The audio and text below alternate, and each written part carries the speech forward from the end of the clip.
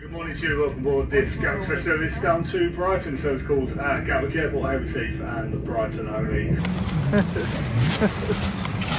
Hello, welcome. In today's video we look at a lens which gets an unfair rap. This is a 1930s vintage Leica lens. This is the Leitz Summar 5cm f2 Leica screw mount lens.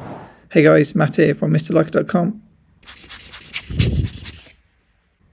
Now, if you believe a lot of the information online, you'll read that the Leica Summar lens is soft and rubbish, and so you're better to get the later Summar lens.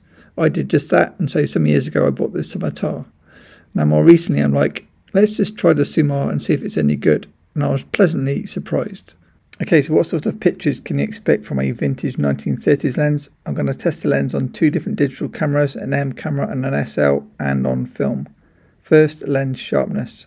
So this is me with my M240 in London, testing it on the way to a photo walk. And as you can see, if you crop in, you can get good sharpness, but there's also like a bit of glow around the detail. So you can tell it's not an ultra modern lens, but equally there's enough detail, and especially in the center, center crops. If you look here, they really are sharper than expected. Even this pigeon posed for me, my model. And if you stop down, the sharpness obviously always improves that center sharpness and compared to the latest Summar my Summar is actually sharper than the old lens. Here's an infinity sharpness test in the center. Again my Summar is sharper than my Summar, which was quite surprising. and at the edges the Summar was again much sharper than the Summar. If we zoom in on this photo, you can see this little bird. This is wide open f2. You've got enough sharpness and a cool little bokeh as well.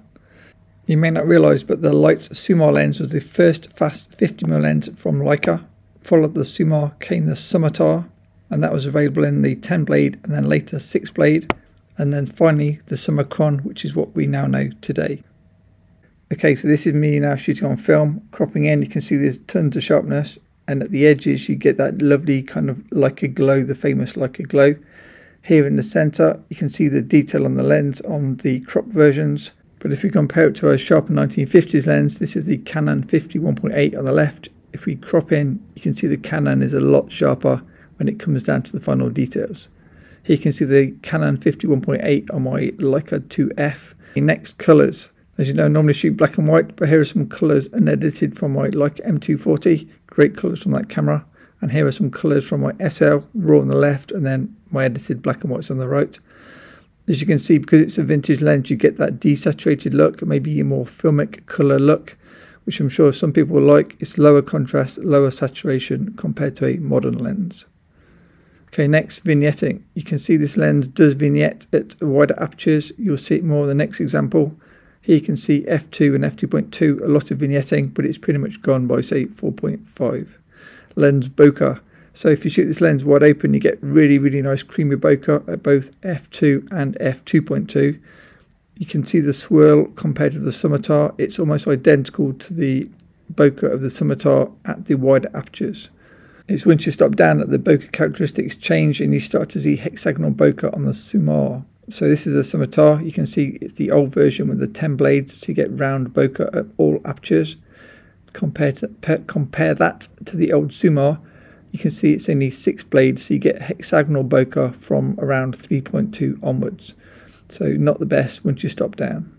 What about lens glow? As you can see from the early examples, this lens will glow from kind of bright points of light.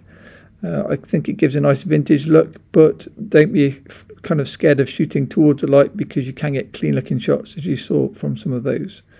Lens flare, this lens is much, much better with the lens hood as you will get flare from an uncoated lens. That being said, in real life examples, I didn't really see any flare once I was using a lens hood.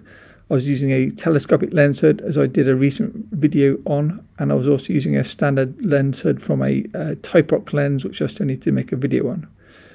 Talking of Type-ROC lenses, so here you can see three collapsible 50mm f2 lenses, two vintage, the Summar and the Summitar both 1930s, and then the other one on the table is a brand new Type-ROC. Video to come, feel free to subscribe. So you can see the Summar is smaller than the Summar, and it's also lighter, and it's got a smaller uh, filter size, which means it's the same size as the A36 push-on size of the Type-ROC, which makes it it's really nice kind of compact size and it means the filters from the Type-Arc, the 9 centimeter Elmar, the uh, 3.5 uh, Leica old lens, all of those take the same A36 push on caps and push on filters. They can see the filters. So it's really nice to carry one set of filters for a variety of lenses. Okay, what about the actual lens spec? So originally made from 1932 to 1939, it came in nickel or chrome finishes. Originally it was rigid and then the, after that they're all collapsible. So six elements in four groups, astigmat lens design with the six aperture blades, straight blades, hence the hexagonal. It's an uncoated lens, but some are later coated, and it's in Leica screw mount. Close focus distance of one meter. It's got a clickless aperture and it only weighs 176 grams, which I say is lighter than the Summitar that came later and the Summicron that came after the Summitar. It's also got the infinity stop as you see there. Okay, let's look at some example photos on film. So I went to Brighton for a photo shoot. So I was interested to try out my various cameras and lenses on the way. So this was me shooting with the lovely Sophie. If you want to get the details and link it below, she's a UK kind of full-time model. And you can see me there using the 1934 Leica 3 Model F with the Summar and the extended lens hood to give me the best kind of contrast in the bright conditions on Brighton Beach although I think the sun had gone in during that clip. So these are shots at f2 and you can see the, the nice fall off in the background. I think they were with the red filter, hence the, the darker darks, uh, like the darker blue tones. I then swapped the lens to the SL, so that was it for film from that photo shoot, but I did then do a run the next morning. Day two, so I set my alarm for 6am to get out on the beach for some low directional light I had my running kit on and then I just carry my Leica 3 camera in like a webbed belt around my waist so it's easy to carry these small cameras. I was using red and yellow filters and I had the Summar. I also had the hood in my belt as well for when needed. The sun was behind me for this shot so I didn't need the, the lens hood. Here you can see the sharpness but you can also see there's a hole in my shutter. At some point I managed to burn a hole in my shutter. I think it was on my desk at home and the sun comes through in the morning and I stupidly managed to burn the hole as you can see there but I have tried to fix it. I'll show you that as we get into the video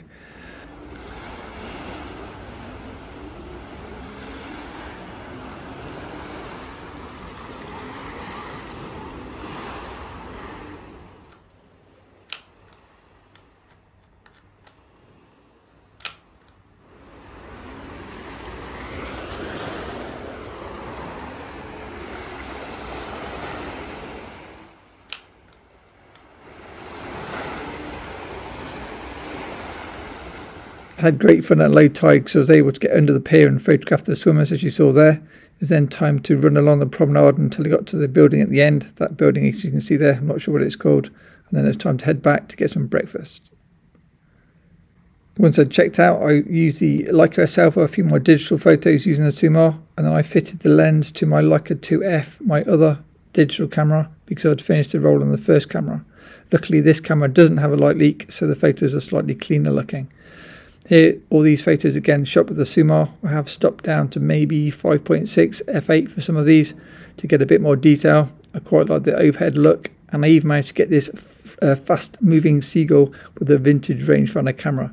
So it's surprising what's possible. Had some fun on the beach trying to use different compositions with the deck chairs to try to make a pleasing looking photo. I might print one of these in my darkroom. Uh, these photos are all shot with Fomapan 100 film. Some photos have got little black dots all over them you'll see it there, like on the seagull photo. I'm not sure what that is. I don't think I've seen that before with fresh film. So if you know what that is, please comment below. I'll be interested. Uh, again, photos are shot a lot with the red filters or yellow filters, so they've got a bit more contrast than you might no normally get. Here's another photo shoot, this time in London in Regent's Park. So this is with the lovely Asha. I will share the full behind the scenes video on Patreon if you're interested in model photography or trying to get better at your lighting and things. I specialise in black and white female portraiture, so this is kind of what I do. This is my, my main interest. Here you can see my setup with the awesome Asha, and you can see I'm really close, and I'm still using the Summar lens, and this is film, so it's like, how is he doing this? Here you can see my simple lighting setup and cameras and if you've not get, got it you can get my free model photography guide in the link below. It should help you finding models. So once you've found a model you then need to learn how to light. You can see that on Patreon and the full model book is also coming so stay tuned for that. You can see me testing with the digital camera and then as soon as something looks good I'm like wait then I'll shoot the same thing with either the Hasselblad or the Leica 3 camera and normally both. You can see I've got the light meter around my neck and you will see a full video on the digital camera photos to come because I was using a different lens. So how did I get so close? So as I said, this Summar lens has got a one meter close focus distance. However, Leica made a special uh, tool which allowed you to focus closer. This is called the Nooky Hesum adapter. And it allows you to mount the lens onto this close focus adapter and then you can focus maybe around 0.5 meters. Don't quote me on that, but it's roughly about that. So to fit the lens, you need to use the inner bayonet screwed into the Nooky Hesum adapter. You then attach it as so. You need to make sure that the windows line up, otherwise it's not going to work. So it works on Leica 3 cameras except the 3G, and it won't work on Leica M cameras. You need to use different close focus adapters for M cameras. I have done videos on close focus adapters, so you see that they can see the focusing and now I'm probably got maybe 0.7 to 0.5 meter close focus and they can see the close focus on the on the example there and that's the result so you, for me if you're doing kind of tight headshots it's invaluable to be able to get that a little bit closer and the problem with most vintage lenses is they normally have a one meter close focus distance so you miss that kind of uh, tight crops to try to repair the shutter curtain, I use a liquid rubber electrical tape. Uh, I have done a video on this in the past because I did the same to my Leica M3. Check out that video. One coating wasn't enough, so now I've applied three coatings and hopefully that will fix it. If you need a small light meter to go to, on the top of your camera, I've just picked up this KEKS light meter. It's really small and I love the fact that it matches my black paint camera. I can put a link below to the KEKS website if you're interested.